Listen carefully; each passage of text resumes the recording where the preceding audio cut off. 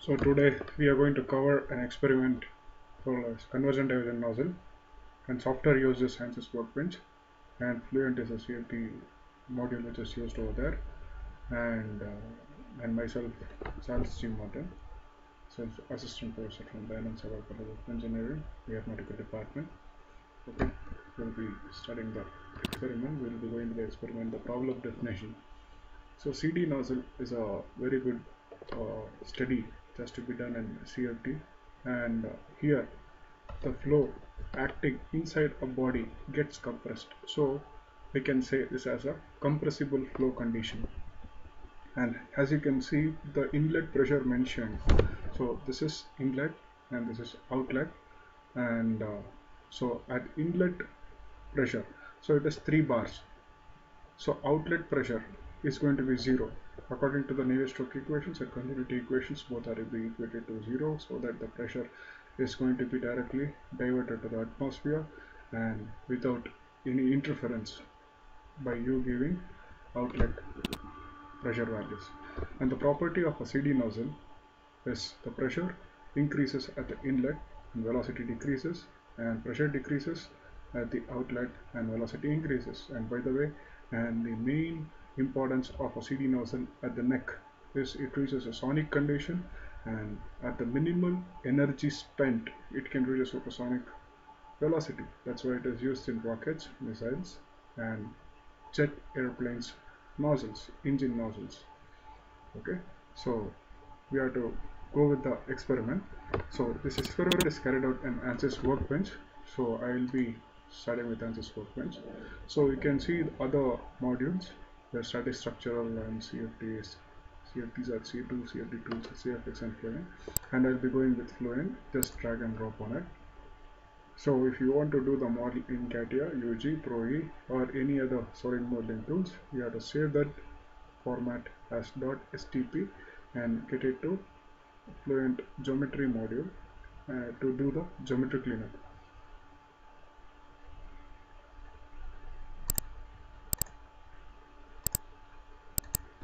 and just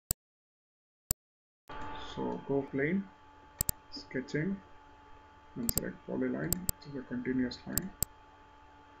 Because it is a continuous line you will not have any breakages in the line which you're going to draw.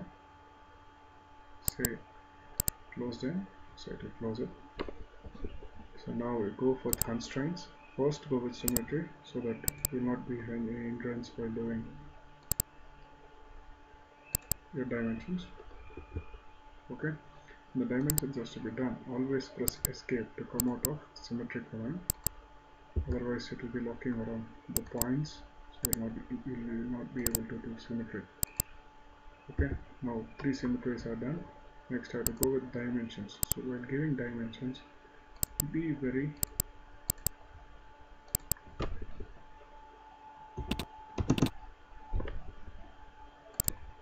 okay you have to check each and every point. So it is, you have to be very cautious while giving the dimensions because if you are mentioning the wrong dimensions the shape which you have drawn might get destroyed. So first tell now 25 and I need the distance between this and this. This is going to be this and this is going to be 35 okay can double back. And we are done with this but I need distance between this and this and this and this. So again click on this to this dimensions. So this dimensions is 75 so I have done. But I need the dimension between this to this. So the dimension which I have to mention. So click on this. So yeah I have completed the model as shown in the PowerPoint. Okay so 25 10 50 35 and 75 okay now we can get back to ANSYS and check whether what we have done is correct. Quick check CL1 10 L2 25 L3 35 L4 75 L5 50 yeah we are done with this. Go for modeling. Say concept surface from sketches. Click on this click on the sketch which you want to select say apply and say generate. And don't mention any thickness because it is on the reference geometry a cross section in a 2d has not to be given any thickness.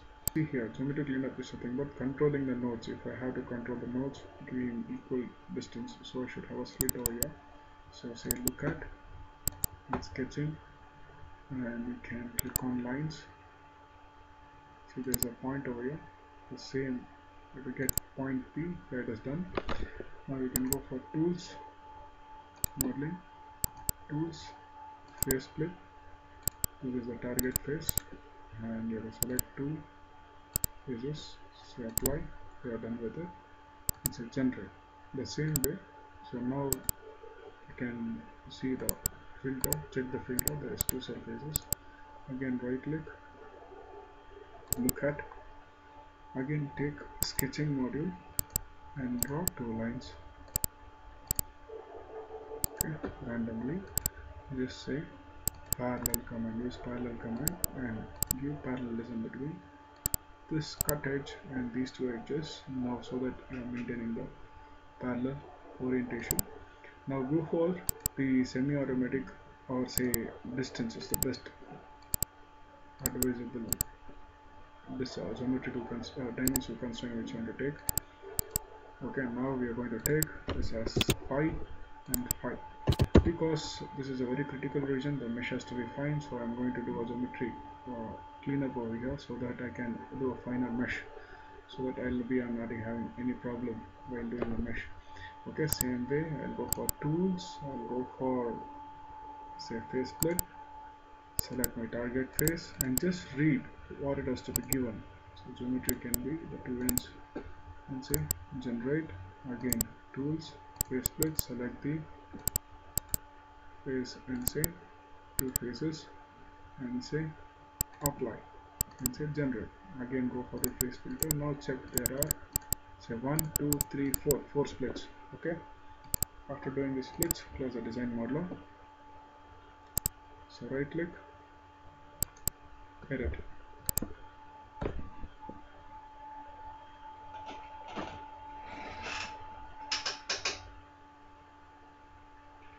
and when it click edit it refreshes the whole model gets refreshed. See the new model has been updated model.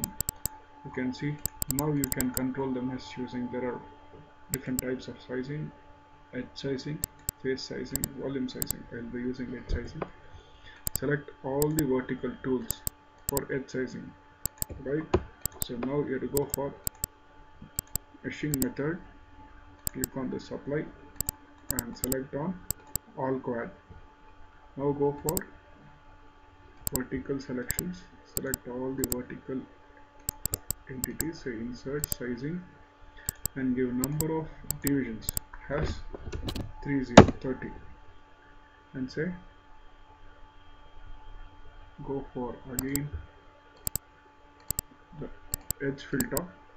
Then select using control. You have to you have to select control. Using control you can do multiple selections again.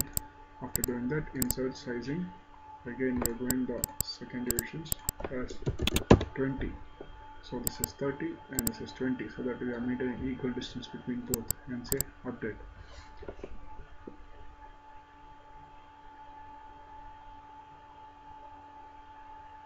so yeah. So my god yeah. What I've done is unstructured mesh. Now we should know the difference between structured mesh and unstructured mesh. Now when you do uh, analysis with unstructured mesh you will get wrong results. And that results are not dependable and it can be used for only complex geometries. So now because this edge is prismatic I can say the same edge is repeating over the cross section with different scaling.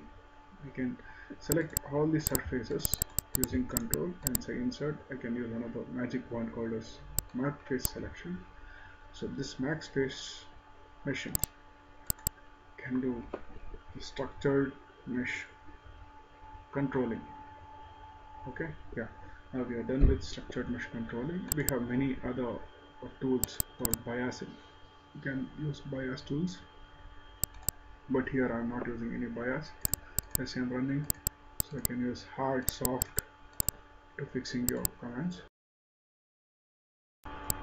when I finish my meshing after meshing I can't jump over to Fluent suddenly.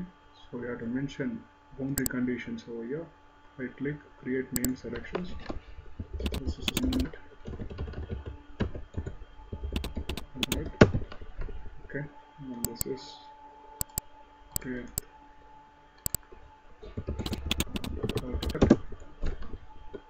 and these are using control you can make selections of the edge and don't miss any of the outer edge and don't select any inner, inner edge. Okay should be very specific selecting walls. So after doing this you can select this all the entities and you should not be having any walls inside. You should not select any of these entities as walls. If you do that you will get an error and you'll be aborting the full analysis and you have to redo it right click and update. So flash symbol is update symbol. You have to say right click and update so that you will update and you will get a green tick mark. So if you get green tick mark your process is complete. Now I have to jump into event so right click on edit so double precision if you want uh, more precise results. And you want single iteration you can just always go as okay set default iteration values and uh, without doing name selections as inlet outlet walls and Fluent will not detect any of the boundaries. If you're not giving any name selections. So now the name selections has been read by Fluent successfully. Click on it. Now you have to change it to density based system. We are doing a compressible flow condition. So and models click on energy equation and activate energy equation and materials click on air and here. We are using the ideal gas and the viscosity is uses Sutherland. So Sutherland is a scientist who has logged on to his viscosity and uh, thermal values. So we are using uh, Sutherland viscosity as mentioned in the problem. Close. And uh, boundary conditions. Inlet. So I have to go for pressure inlet. Say yes Need to change the pressure inlet pressure inlet is 3 bars. 3 bar is nothing but 3 E50 is the value. Okay. And next click on outlet. Say pressure outlet. Yeah. Nice. Edit. So it is going to be 0 okay. Yeah, that is correct. Walls. Say edit. So it is stationary wall and no slip wall. Okay no slip wall. Standard uh, friction we are going to consider viscosity and friction so there will be no slip okay now solution methods. Go for monitors. Want to create a drag CD on walls. CD versus position. Iterations will be plotted. Okay it is plotted. Yeah next uh, you want to initialize the solution. It has to be standard. It has to initialize from inlet okay and say initialize. And reference values also you can say check what is the values which is going to come from inlet. Okay here you can select and check see this is the values which is going to be initiated. The velocity is 442.78 the same thing you can see over here. When you say it is inlet the same thing if be initialized over here. Say run calculation and give iteration is 500 so your result has to be convergent within that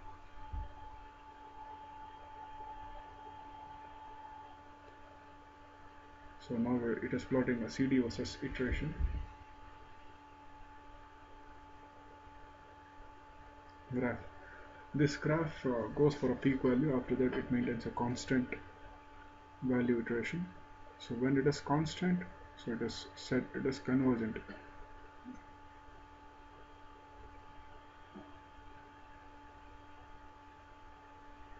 The iterations are running the maximum iteration given is 500 but within that itself it has to converge. Otherwise you have to increase it to 500 to 1000 okay so again so it has told 210 the solution is converged. Say okay again say calculate. So again it is saying yeah 211 the solution is maintained is constant and you can continue with your results. Okay next go with graphics and animations and contours you can click so if you want to see the contour click on this set display. You can see the color coding. Okay? And uh, before interpreting this first I'll tell how to use this color coding. Now deselect it deselection selection is this and deselection is this and say field and say display. Now you can see the colored contour. Colored contour is only a representation. So if you want to zoom it you can zoom it down. Okay so this is this color contour representation according to your result so pressure static pressure. So what we told in the theory as we told it is pressure is increasing at the inlet and velocity is decreasing. So in my fluent when I check the value which I have got in the pressure so highest pressure is going to be 2.92 E5 and 3 bar was the pressure which I applied over here yeah it is high over here and minimum over here so it is minus 8.75 uh, E to the power of 4 so I can easily say this is maximum pressure and this is a minimum pressure. Now I'm going to check the velocity magnitude using Mach number. Set display. Yeah so the beautiful graph says the contour without the legend is useless. So an engineer should be able to read this contour legend. So this 1.74 e minus 5 e minus 1 is going to be 0.174 so subsonic Mach number. It is a subsonic Mach number. For 0.174 now when you see the neck so it is going to be the color coding is around say 0.168 okay? So there is a color change at the neck. So this color change represents say 1.10 and e to the power of double zero means it is going to be 1.1 so the Mach is achieved the sonic condition which we represented is achieved. Okay? So theoretically what we study we are proving it and we have data to prove it. Okay? And the outlet we have 2.82 yeah we have and we can proceed with these two results. So if you want to take a picture of this you have to just click on this and you can say save it as and say pressure so this is velocity. Velocity Mach number okay? Jpg i'll give save okay? Yes. I'm replacing it. And we want this contour of pressure. And yeah static pressure. Set display. And want picture of it. Yeah I can take picture of it and save it as pressure. Yes. So I'm overlapping the picture which is already saved in my computer. So now the pictures have been taken. Now I need still more. I'm not happy with only contours. I need plots. So I click on XY plots and say pressure. And I want to plot across walls. Walls are the only entities which you can define the pressure variation. See check the pressure variation. It is beautiful. So it is going to interpret that maximum pressure and the neck. It is going to reduce and automatically there is a divergence and it is going to get back to minimum pressure region. Okay? Same way you can check velocity. So if this is matching with that then you can easily interpret. So if you want to take pictures out of this. Just click on the camera command over there and say save and give your own name. So this contour which is you're seeing is going to be a velocity Mach number contour. So if you want to give it as you can give and you can save it as a hard copy. It will be a JPEG file. And you can say okay yes. And again I'm going for next pressure. Static pressure display. The same picture. Save subpicture okay. Okay. And now I wanted the plots pictures again. So I already showed the how to take the plots same way you want the plot pictures across the walls. With a plot you will be getting the graph and you want to take the same picture you can take the picture. And say save it as pressure plot.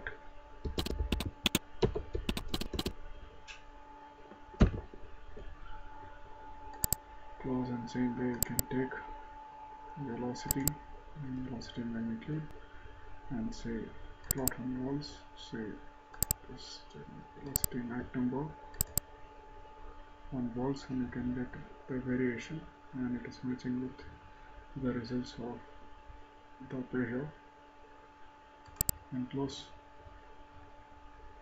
now we can prove that with these two values that uh, pressure is minimum at the exit and velocity is maximum at the exit and using the subsonic condition you can reach a supersonic condition using a mechanical component CD nozzle.